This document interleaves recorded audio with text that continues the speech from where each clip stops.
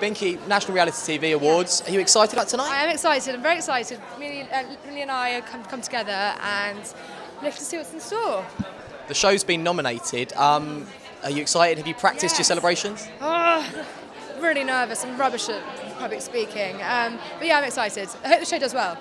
And uh, For a win. how will you celebrate if uh, if you do win? Well, we're both, Millie and I try not to drink at the moment. We had a bit of detox, but yeah, champagne or two. Should, should be, I'm quite, I'm, I, I get really pissed on champagne, so I've got to be careful. Um, why do you think the show is so vastly popular?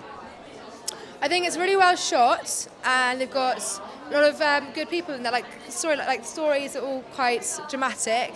Um, it's, I, I, I, mean, I personally love the fact that it's shot so beautifully, and I mean, there's lots of drama. Everybody loves a bit of drama, don't they?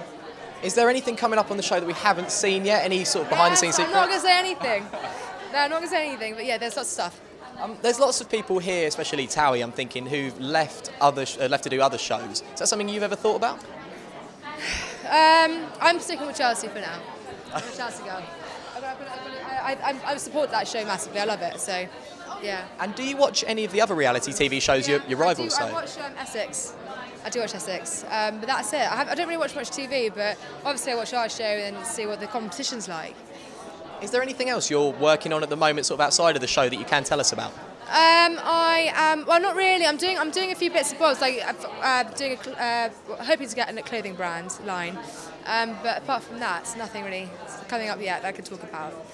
Sort of talking generally, what do you think people get from reality TV? Why is it so popular at the moment? I think I think it's popular because everybody can relate to it, and it's also fun if you know you live, if you live in the area or near the area. If you've been somewhere, it pops up on screen, and it's quite funny seeing where you've been.